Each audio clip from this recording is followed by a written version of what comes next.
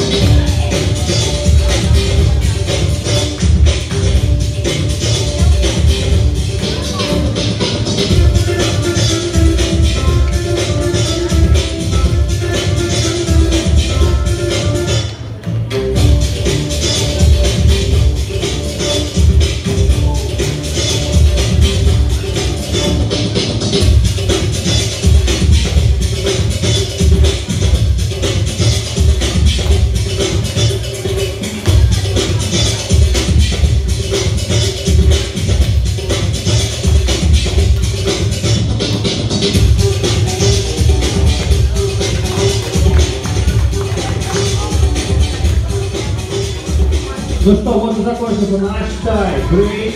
Теперь нашему судье просто не отвертеться, и он должен выбрать ту команду, которая